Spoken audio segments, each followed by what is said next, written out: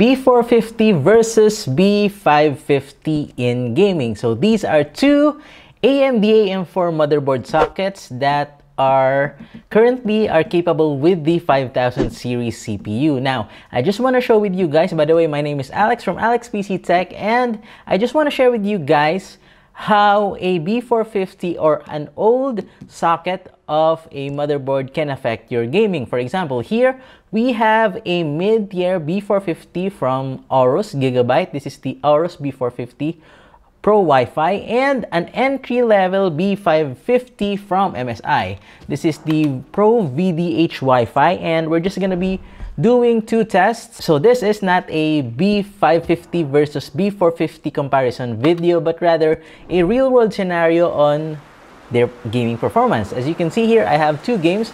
The first that we're going to be testing is Red Dead Redemption. So I'm running the built-in benchmarks of RDR2 and all the settings are on Ultra. Please take note that there was no overclocking that was done on the CPU and we have Smart Access Memory turned on. For the test rig, we have a 3200 GB memory, a 5900X for the CPU, and we have two motherboards as I've said earlier, and we're testing these games on an SSD. Now, as you can see on RDR2, there's not that much of a difference running the benchmark.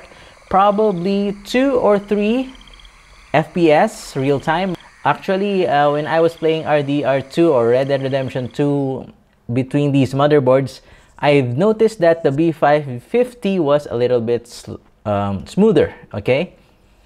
Although that smoothness is just, I don't know, from B450 playing to B550, just a tad smoother, nothing more, okay?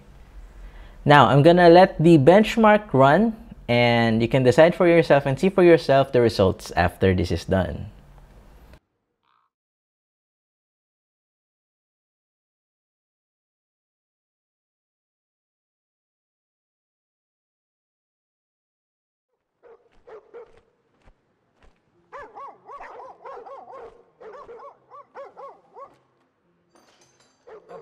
Apparently, Angus tried to gild another bull with the damn hacksaw. I ain't exactly shocked to hear it. Well, Everyone in here is so hungry.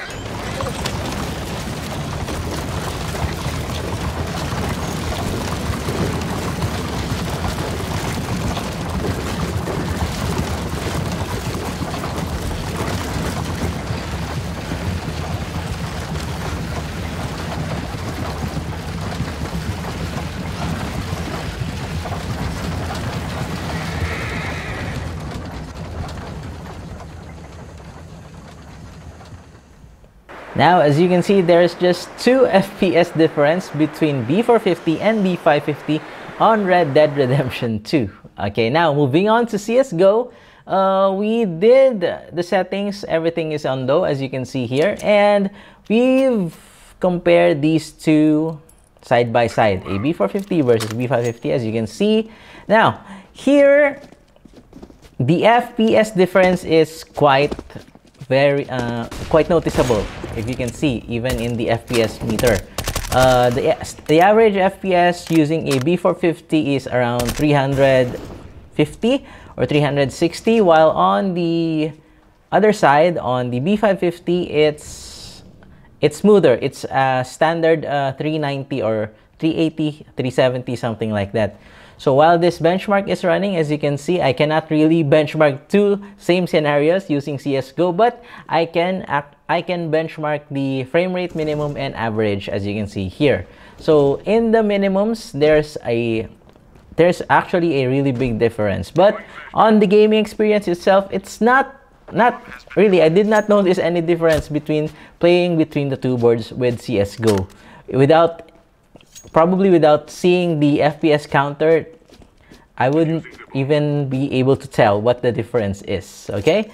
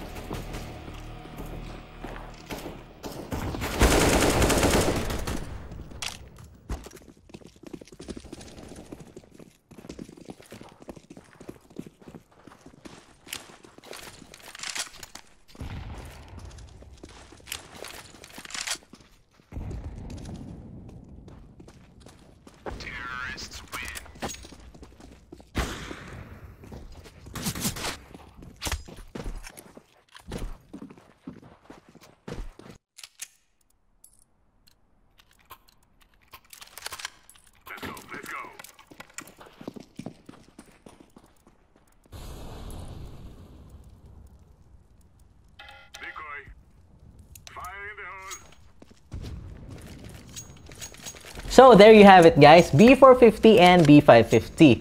Well, the only main difference between these two is of course the update of the PCIe 3.0 to PCIe 4.0 on the B550 but we're not going to be talking about that on this video as this is like a real world usage on the performance of gaming on both of these motherboards. Do you like this video? What is your opinion? Do you think that I did something wrong with CSGO as there's a 20 FPS to 30 FPS difference? Like Comment down below guys and like if you like this video and subscribe to our YouTube channel if you haven't subscribed yet. And thank you for watching guys. I really appreciate it. Please tune in as we're to be pumping out more content for PC.